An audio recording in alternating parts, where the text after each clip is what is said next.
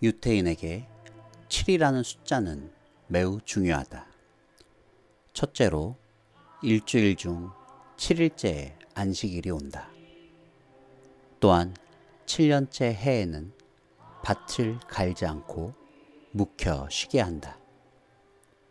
그리고 49년째 되는 해는 대단히 경사스런 해로 이 해에는 밭을 갈지 않고 묵히며 남에게 빌린 돈도 채무가 소멸된다.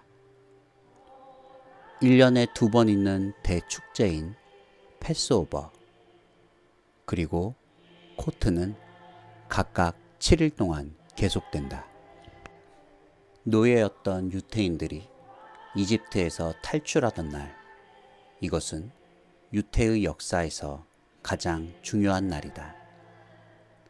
이것을 첫 번째 달로 삼고 그때부터 7개월 후에 신년을 맞이한다.